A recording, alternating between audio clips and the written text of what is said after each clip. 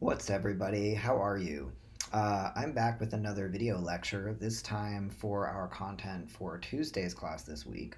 Um, but before that, I just wanted to walk you through some reminders about how we're going to be conducting class for the remainder of this semester um, and uh, kind of how expectations and timelines are shifting based on, you know, the fact that we can't leave our homes except to do grocery shopping and buy gas.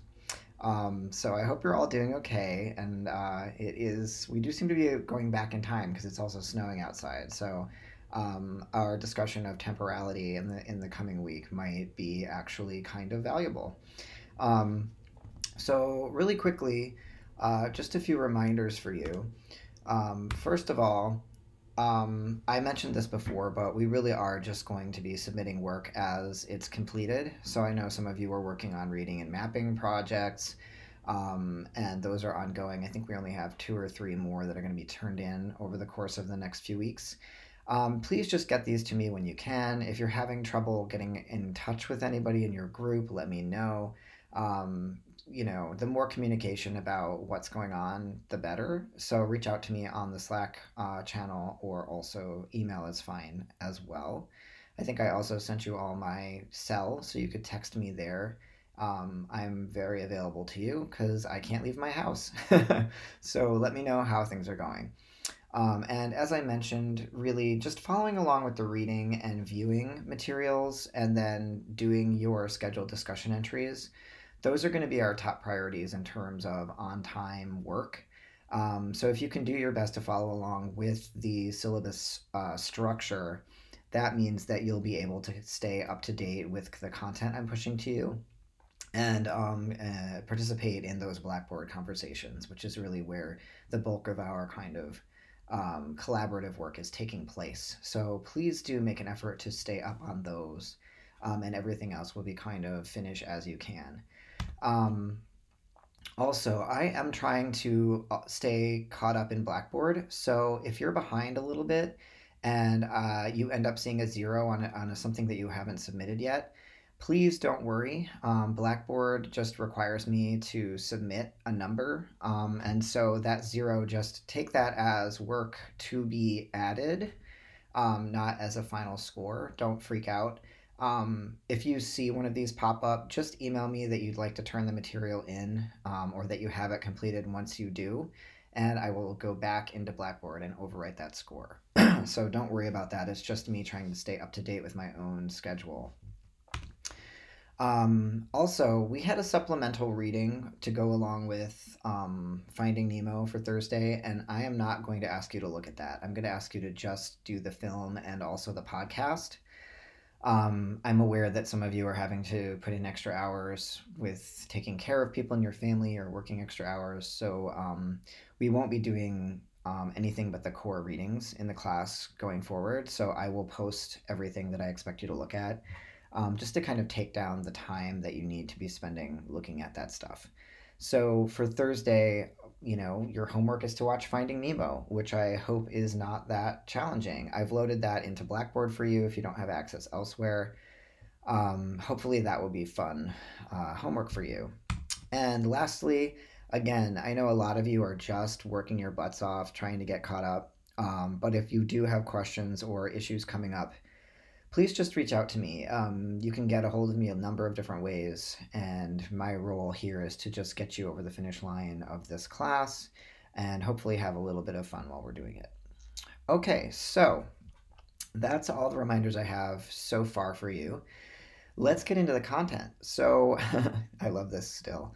Um, we are continuing uh, this week with our examination of the antisocial thesis. Now, last week we looked at Heather Love's The Politics of Refusal, and we paired that with a cinematic text, um, The Living End, to think about um, counter identification and its role, particularly during the AIDS crisis, um, in queer politics and uh, this new style of queer um, sort of political consciousness that was developing in opposition to the discourses of gay identity politics that had kind of been growing throughout the 1970s. Um, and so, you know, this moment in the early 90s is the moment that gives us queer theory as well as this new meaning of queer, we looked at Queers Read This as a place where that meaning was getting articulated as a way of kind of saying, not gay as in happy, but queer as in fuck you, right? Um, so we're continuing this week to think about some of the further implications and kind of more current implications of antisociality. Um, and we're doing this uh, pairing a, a, reading with a film again. So we're looking at Jack Halberstam's The Queer Art of Failure. And then a film that he spends quite a bit of time with in that book is Finding Nemo, which I'm sure many of you have already seen. Um, so let's get into it. First of all, who is Jack Halberstam? Uh, he is professor of English and Comp Lit at Columbia University. Um, and you'll notice we're reading two pieces from him over the next two weeks, and he has published under both Judith and Jack. So these are the same person, just uh, separated by a couple of years. Um, and this piece we've looked at is actually the title chapter from his 2011 book that was titled The Queer Art of Failure. Um, so we're kind of reading the area of the work where he lays out some of his biggest ideas. And um, if we look at the book as a whole, really what he's doing here is taking on the concept of failure as a resistant art cultivated by queer politics and culture. So um, if we think about how queer was a kind of um, reverse discourse um, strategy, right? Taking this word that was negative and claiming its power. We, we've talked about this uh, idea of reverse discourse earlier in the uh, semester when we looked at Stryker and her uh, claiming of monstrosity. Here we see Halberstam doing a very similar thing. He's taking this concept of failure and he's taking all of the kind of dominant meanings attached to that concept and he's reversing them against the dominant culture and saying actually to fail maybe is not such a bad thing. Um, maybe there are these like this maybe there is hidden value um, in failure and maybe queer and trans people know a thing or two about that. So his central argument in this piece is that failing can be more transformative than winning. Um, remember he's not saying that failing is like a secret kind of winning um, and that he's not just flipping the binary upside down. He's saying really that there are these like transformative energies inside failure that the dominant definition of failure doesn't allow us to access. Um, and he also says that failure leads to hidden revolutionary possibilities. So he's he's into the idea of failure kind of containing these possibilities that are often overlooked by the logic of success and that if we only follow the logic of success we'll never realize some of the more transformative aspects of failing, like where failing can lead us, the questions it can cause us to ask, the relationships it can cause us to form, um, the types of growth it can encourage us to un, uh, undertake. Uh, he's really interested in those things outside of a capitalist framework. Now, um, Halberstam is really interested. He's got a kind of interesting archive here. We looked at Munoz, and Munoz was looking at all of these kind of instances of queer of color performance or watching certain kinds of performances. Um, Halberstam here is very interested in children's literature and particularly children's animated film as a space where things like immaturity, failure, forgetting, impulsivity, um, things that we would normally think you have to grow up and leave behind as you know styles of life that need to be replaced with more responsible um, ways of acting um, are celebrated and linked to these kinds of resistance, these collectivities that he's interested in saying, hey, there's like a, gr- a, huge amount of potential in these more childish behaviors that we're taught to leave behind. Now, remember, Gregg Araki titles The Living End an irresponsible movie. So, how are Halberstam and Araki both interested in how certain kinds of what we might say immature behavior are deemed irresponsible because they lead to what we would call failure within a capitalist kind of understanding. Um, so, what Halberstam is doing here is the whole book is really a response to another book written by Lee Edelman called No Future, in which Edelman, who's also a psychoanalytic antisocial uh, theorist, he argues that the, the image of the child, this idea of the child, is inevitably linked to straightness and to imagining the future. So he kind of says, you know, the only way we're able to imagine the future is through this idea of straightness and reproduction. And so we need to, he says, fuck the future.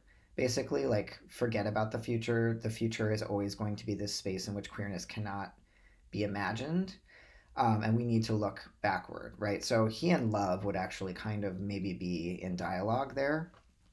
Um, and halberstam is like actually arguing with edelman here saying actually if you look at children's culture and the way children actually act um, there's a lot of stuff there that looks pretty queer, right? Willful failure, uh, anarchic wild, new forms of relationality and sociality, right? That children themselves actually seem pretty queer. And to kind of write off the figure of the child as this only meaning uh, this reproduction of straightness into the future is short sighted.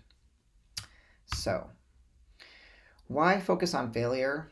um, Halberstam is saying that like because of how dominant society is set up, that queer and trans people will kind of always be understood as failures automatically because of how our culture links success to reproduction and normativity.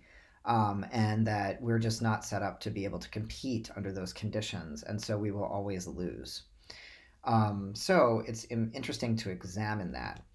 Um, he says that queers fail dominant notions of success, as well as maturity, health, ethics, family, and common sense, because we make decisions that other people do not make and think of as dangerous, risky, immature, unhealthy, sinful, etc. Uh, Halberstam says rather than resisting failure, right, um, rather than kind of chasing the American dream and seeking to be considered normal, uh, happy gay, gay and lesbian people, right, um, he says we need to embrace our role as failed and investigate what it might have to offer. Um, and so, again, he's interested in kind of looking at that failure as a source of power.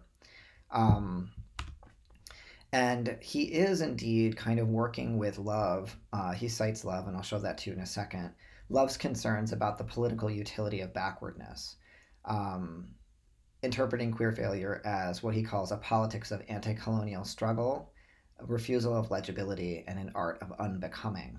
So I think while Love is interested in kind of refusing the conditions under which identity is offered to, you know, LGBT subjects, Halberstam is more interested in how to unbecome things, right? Like how to uh, refuse the conditions and then become something else uh, kind of under the noses of people who think you're a failure.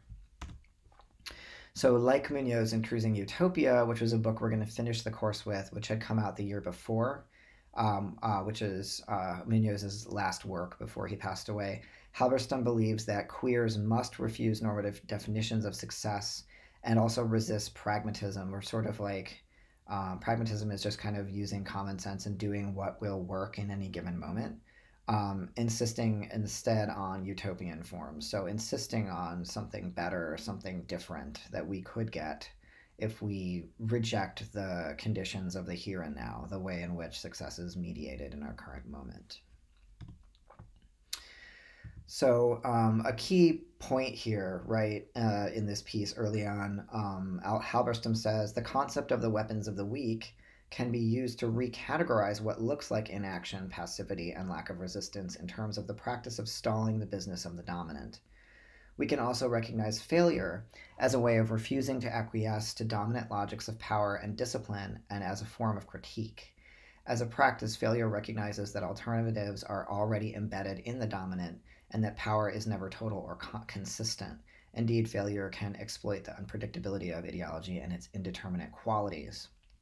Now, here, Halberstam is revealing himself as someone who uh, is really invested in a more Foucauldian model of power. So we took a look at a section of uh, Michel Foucault's The History of Sexuality, where he talks about power being lateral and networked and fluid, right? And here we see Halberstam also kind of using that theory of power as a way that it can be reversed upon itself. That we in in refusing to do things are also articulating a kind of, of power to say no.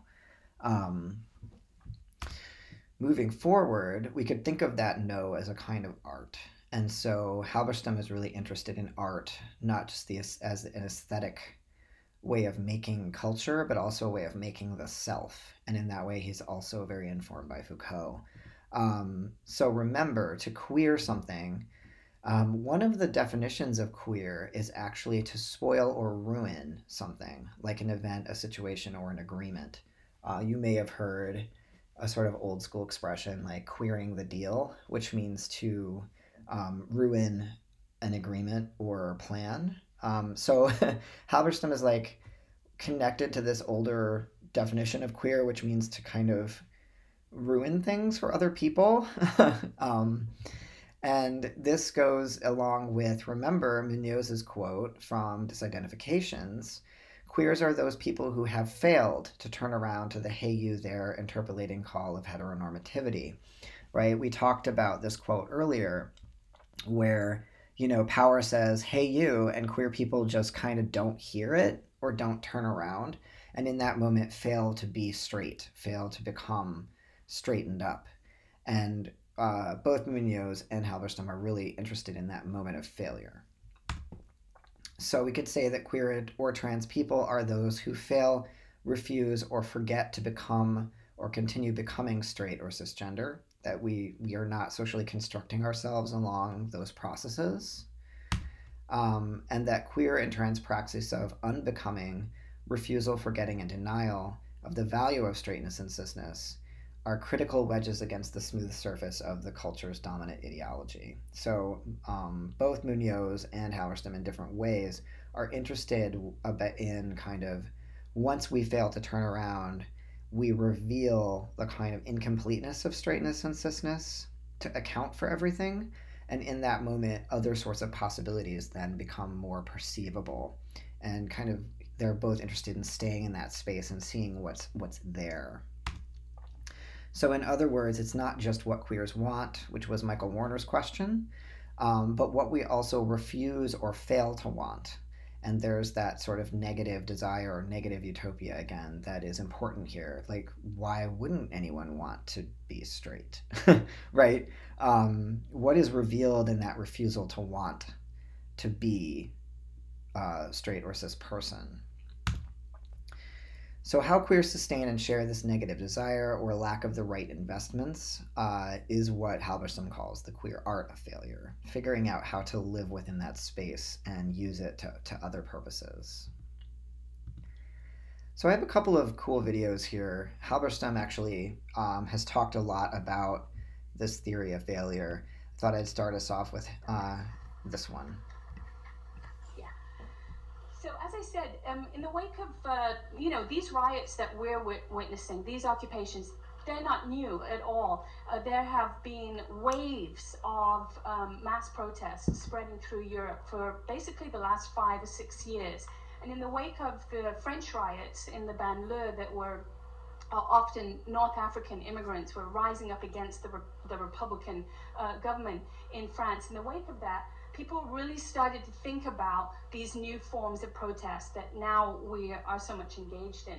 And this is a, a beautiful piece of uh, graffiti saying the, the insurrection is coming, and that then fed this little anarchist handbook, The Coming Insurrection. And I really do recommend that you read that and I think of my book as it's not exactly a manifesto, but it has manifesto pieces uh, in it. It's a manual, if you like, for failure. It's a how to guide to failure in the age of global capitalism. It's a why to opt out of global capitalism and how to do so in ways that may not immediately be apparent. Okay, so to that end, I like to give people um, little rules or little lessons in failure, sort of, you know, like uh, the motivational speaker who has how to fail better, how to do a better job at failing. And the next slide, here we go. Samuel Beckett, the, the voice of modernist literature, probably the, the writer who has written in the most uh, full way about failure ever is Samuel Beckett. None of his characters succeeded anything ever. Okay, you only have to think of like waiting for Godot, two clowns on a stage. They don't go anywhere. Nobody arrives. Nobody comes. Nothing happens. No one learns anything. There is no moral lesson. There's no advance, right? He, that's, in fact, every single work he ever wrote is like that. Someone comes into the world, regrets it, does nothing, dies, okay? That's modernism in a nutshell, but without the, the pomp and circumstance of a T.S. Eliot. So here you have it. No matter. Try again. Fail again. Fail better. Okay, so on, on, on behalf of this project of failing again and failing better, I have rules for you to follow, accompanied um, by images. And the first rule, of course, is that you have to learn how to lose. And we live in a country that despises losers. In fact, we live in a state that despises losers. And Arnold Schwarzenegger's motto when he was governor of California was, I hate losers. He said, There are winners and losers, and I hate losers. And he, you have to remember the Austrian sort of fascist accent that that comes out in to really get the sinister quality there. Um, so, in order to really embrace failure, to refuse success in the way that it's been offered to you by capitalism, we have to recognize that losing is part of life. It's part of everything that we do. Sometimes we win, sometimes we lose.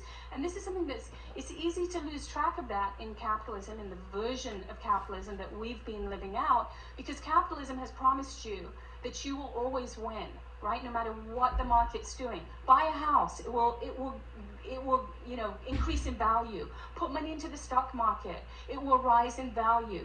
Um, buy a lottery ticket, you'll win. But remember that in order for there to be winners in capitalism, there have to be losers. And we know that the winners are now very few and that they are winning huge amounts and therefore everyone else is losing huge amounts. So learning to lose means actually being okay with losing and recognizing that winning is already such a compromise, such a corrupt project that we anyway should not be engaged in it. Okay. So that's kind of the thesis of Halberstam's book um, in a kind of um, simplified manner. And then this interview, uh, he goes into depth a bit more about why he chose to look at the kinds of texts he's looking at in this project.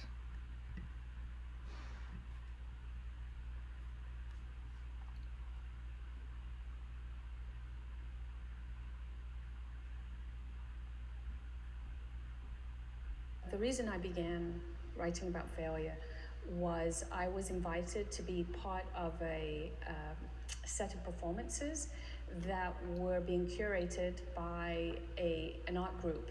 This was back in 2004, and the art group was called LTTR, and that can stand for any number of things, but at the time they were calling themselves Lesbians to the Rescue, and they curated an evening called Practice More Failure practice more failure. And this was in 2004, so it was uh, during the uh, Bush regime. And uh, all the emphasis in the US was on making money, uh, going to war, uh, being the world superpower. Uh, it was a very sort of nationalistic moment. There was also the Olympic Games was on, and the TV was full of American athletes winning all the time. So at this event and in my presentation, I argued that failure was a, an anti-nationalist uh, discourse in an era of the superpower.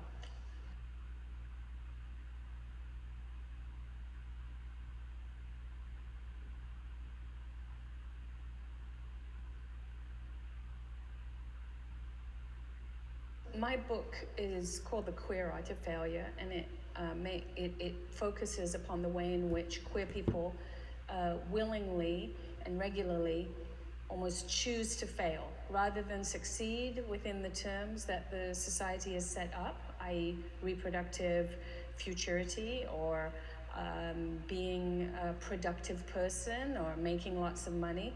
Uh, failure can uh, basically be a performance of dissent and refusal.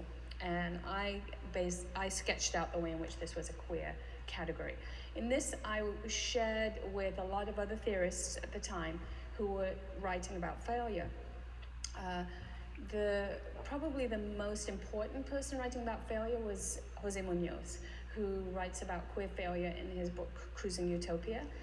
And he, in his archive, there are all of these artists who were in the scene around the time of Andy Warhol in New York, but were in relation to Warhol as failures. So Jack Smith, for example, was a very eccentric artist who would invite people over to his loft for a performance and then never show up. Um, he would create these sort of fantastical worlds, um, but he was always uh, on the very margins of even the art worlds that he was a part of. So um, there was a I would, it's not an idealization or a romanticization of failure so much as a recognition that the terms success and failure have a lot of political content and critique embedded within them. Someone like Lee Edelman uh, is, in a way, writing around some of the same issues, but he's a very strict psychoanalytic Lacanian critic. Uh, and therefore, he would argue that homosexuality is a, is a position rather than a, an identity, a position in the, within a social structure that is set up to fail. And rather than uh, having a homosexual population who are desperately trying to get out of this category of failure and enter into the category of success, he argues for embracing failure, as do I. But for him, failure is structural rather than political, um, and there isn't any particular politics that follows from this kind of negativity. Um, Leo Bersani, I think, is an, another interesting voice just because long before anyone else, he pointed to the fact that when we say the gay community, we're really creating a complete fiction of unanimity and uniformity, and that there's nothing really that unites gay people. And furthermore, there's nothing necessarily that orients gay people to progressive or radical politics. And while there's a, something of a conservative bent to Bersani's work, at the same time, he allows for other people to do the work of saying why queer, what's radical about queerness, what's queer about radical politics, rather than presuming that gays and lesbians are, because of who they are, uh, certain kinds of political subjects. So, you know, my work is very deliberately setting out to name a subject position, a political agenda, uh, and a form of critique that is uh, radically dissenting, grounded in refusal, and explicitly queer. We'll just wait for one more question. This is Why did you make a methodological choice on working with what you've called silly archives and animated feature films? One of my frustrations with a lot of academic theory is that it uses the same five philosoph- philosophical traditions and philosophical currents over and over again. Um, and for me, that limits what can be said. Um, given that, you know, in any given moment, there are so many people writing, and there are so many people writing amazing things. And given that we don't really any longer believe in canons of thought really strictly, it seemed to me that in a book on failure, you would want to push against the conventional and orthodox wisdom uh, around lineages of thought. So, um, in my introduction, I craft something, uh, I, I, argue on behalf of something called low theory. And low theory as opposed to high theory, and it takes as its archive uh, much of the popular culture texts that most avant garde and queer writers will reject. So, someone like Bersani, someone like Edelman, they're always going to go to Genet, Hitchcock. Uh, um, I don't know, Gide. I mean, it's going to be always gay male writers, usually French, uh, who we can easily recognize within um, high modernist traditions. So my archive is deliberately an archive that seems not to have anything to say politically. However, the archive that I chose for this book was new animated feature films uh, for children. And this is because uh, one of the things that we do in, in um, capitalist cultures is we contain rebellion by casting it as childish. So we say, you know, certain forms of rebellion are just seen as being incredibly immature. And so children's films are loaded with these scenes of rebellion and uh, almost revolutionary impulse because it's seen as being a safe genre for the expression of revolutionary desire because it's directed to children. It casts revolutionary desire as anyway immature, premature, uh, childish and infantile. Um, and it, there's a kind of confidence that there is no political subject who will emerge from watching those films. So, what I noticed in watching the Pixar movies, for example, is that they have um, oddly socialist themes to them. Um, they tend to involve groups of animals that rise up together against oppressive or exploitative masters. And one of the first Pixar films, A Bug's Life, just as an example, were a group of ants that whose food every winter was stolen by grasshoppers, who were fewer in number but bigger in size. And uh, so the ants decide that one day that even though they're small, they're many, and the many can overcome the few. So you, this is the beginning of, uh, uh, in Disney at any rate, in Pixar, uh, an emphasis on social insects and the many against the few. So instead of, in, in lots of uh, conventional films that are geared more towards adults, the emphasis is always on the individual, the individual love story, the individual tragedy, the individual within an adventure frame. But in children's films, the emphasis is always on the group. And this is also partly because children themselves are often in groups, they're not individuated in the same way. Um, and all of this adds up to this really crazy situation where you find incredibly radical stories being played out on the big screen for kids. And so I wanted to investigate that. And uh, the other thing that you have to do in a children's film is not focus too much on success because the lessons that parents want to teach their kids is it's okay to fa- fail, try and try again, you know. Uh, and if everything was geared towards success, you'd end up with a lot of very neurotic children. So children's materials are archives of failure, awkwardness, clumsiness, um, failure, uh, um, the, the, and also a kind of strength and collectivity. So that theme sort of runs through the book, saying that in failure, you can access other forms of being in relationship to others uh, on behalf of a different political agenda. Okay, I'm going to stop this here. That was a little bit long, but I do think it is. Um, sorry, that's not the greatest uh, look on Halberstam's face. Sorry, Jack. Um, I'll just switch over to my notes. So uh, that video really does kind of encapsulate the reasons why theorists pick certain kinds of texts to um, find theory or apply theory within. And Halberstam is really plain spoken there about why he's gone to children's media as a place to really think about failure as a, as a sort of um, transformational space. So, the style of failure, what is the style?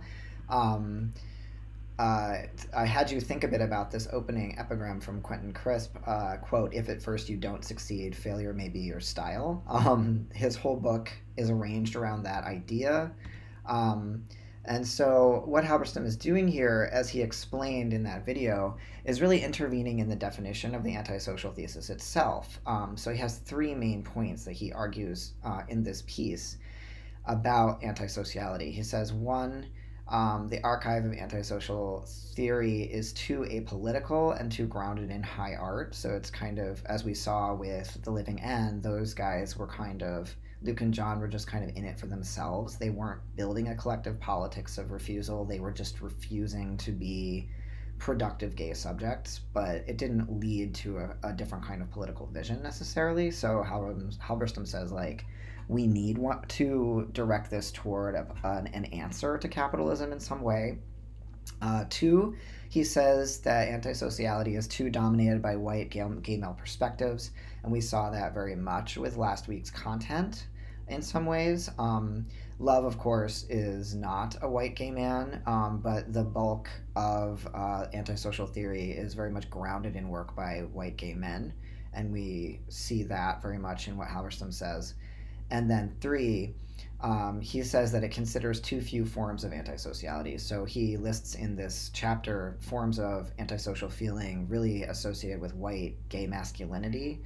Um, but then he also says there are all these other kinds of feelings associated with, say, lesbian uh, affect, butchness, right, anti coloniality um, that don't make it into the archive, and he wants to challenge that.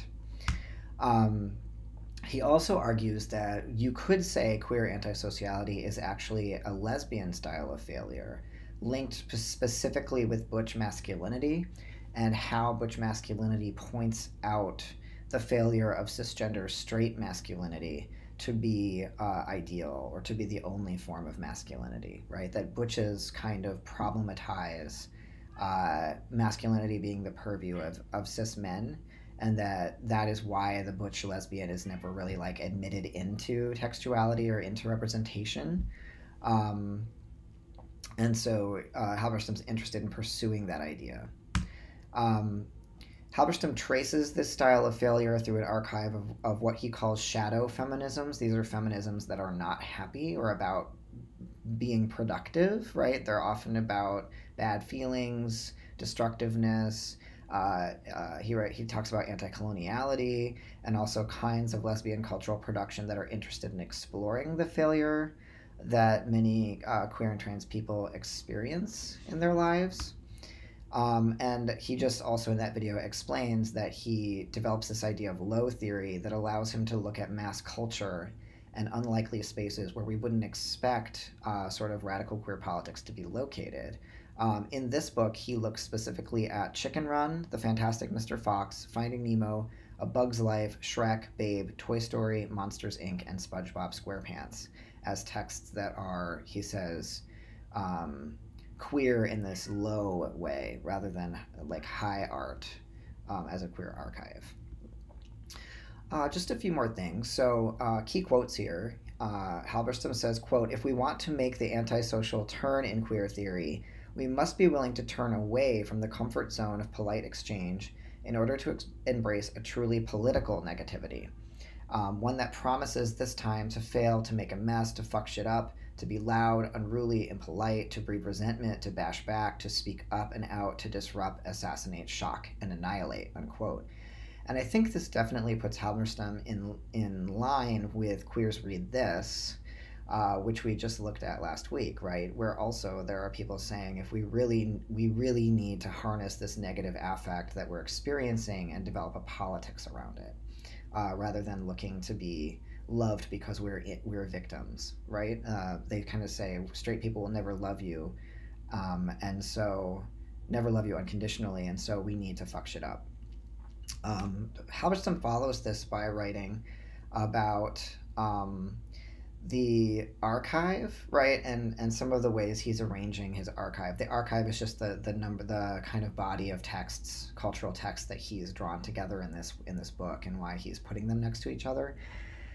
Uh, he writes of that opening quote for crisp as for an artist such as andy warhol failure presents an opportunity rather than a dead end. In true camp fashion the queer artist works with rather than against failure and inhabits the darkness. Indeed the darkness becomes a crucial part of a queer aesthetic uh, darkness, Brooks continues, is an interpretive strategy and a mode of reading the world from a particular and dark position. It is this understanding of textual darkness, or the darkness of a particular reading practice from a particular subject position, that I believe resonates with the queer aesthetics I trace here as a catalog of resistance through failure. And so this, uh, he talks about the darkness of like um, certain kinds of uh, photographs of queer life, uh, pre-Stonewall, um, pre identitarian queer life. Um, and we could think of this darkness as also this lowness, right? This closeness to the ground, this lack of light um, in the archive. And then uh, he cites love, right? Remember, we just finished with love last week. He writes, uh, as Love puts it, quote, backward feelings serve as an index to the ruined state of the social world. They indicate continuities between the bad gay past and the present, and they show up in the inadequacies of the queer narratives of progress. Unquote. To feel backward is to be able to recognize something in these darker depictions of queer life without needing to redeem them. And uh, I think that's really crucial that it's not just that we go looking for these instances of failures and hold them up and say they're actually secret modes of success. Like Halberstam is cautioning us to not try to turn failure into a new way of succeeding, but rather to um, look at these instances of queer failure without needing to redeem them, without needing to bring them back into the discourse of capitalist productivity um, or turn them into alternative methods for success or DIY success models, right? He's saying just let them be dark. Um, and let the darkness inside you also be dark because darkness is where unexpected transformation can really lie. Um, And lastly, uh, he talks about his archive of heroes here, like uh, antisocial heroes. Renton, Johnny Rotten, Ginger, Dorian, Babe, like those athletes who finished fourth, remind us that there is something powerful in being wrong, in losing, in failing, and that all our failures combined might just be enough if we practice them well to bring down the winner. Let's leave success and its achievement to the Republicans, to the corporate managers of the world, to the winners of reality TV shows, to married couples, and to SUV drivers. Um, the concept of practicing failure perhaps prompts us to discover our inner dweeb, to be underachievers, to fall short, to get distracted, to take a detour, to find a limit, to lose our way, to forget, to avoid mastery, and with Walter Benjamin, to recognize that, quote, empathy with the victor invariably benefits the rulers, unquote. All losers are the heirs of those who lost before them. Failure loves company. And that's his final sentence. Um, so, uh, for Thursday, I'm going to ask you to check out Finding Nemo. And I think a key uh, line from that movie that we can all keep practicing to ourselves right now is just keep swimming. It doesn't matter where we're headed. We don't need to be goal oriented. We just need to be in the here and now, and we just need to keep swimming, doing what we're doing. It will become a logic of its own. It will lead uh, to transformation of some kind. Change will happen. Um, so if everything feels stuck now, just keep swimming. Um, and I'll have you travel back over to the discussions tab to add some thoughts in response to this lecture. So uh, that's it for today, and I hope you're all uh, okay and staying safe. And uh, I'll look in the discussions tab for your responses. All right, bye.